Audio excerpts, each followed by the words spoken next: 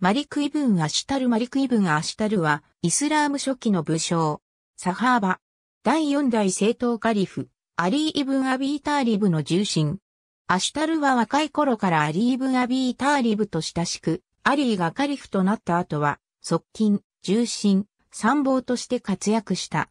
657年1月に、アリーがクーファへ拠点を移した時には先行して、前総督のアブームーサー・アル・アシュアリーを追い出し、アリーの受け入れ準備を整えた。また同年のスイフィーンの戦いでは、左翼の空破騎兵を指揮するとともに、全軍の副将を務めた。彼は傭兵に非凡な才能を持ち、ムアーウィアのシリア軍を敗北寸前まで追い込むことに成功した。658年、アリーはそれまでの海水分サードに変えて、アブーバクルのこのムハンマドをエジプト総督とした。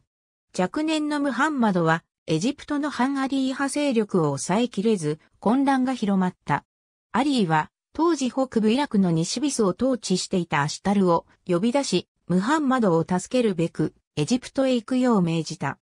ムアーウィヤは、アシュタルのエジプト赴任によって、自身の本拠地シリアが東西から攻撃されることを恐れ、側近アムル・イブン・アルイコールアースと図り、アシュタルを毒殺した。ムアーウィヤは、アリーはもはやその両腕を失ったと歓喜し、アリーは悲嘆にくれたという。ありがとうございます。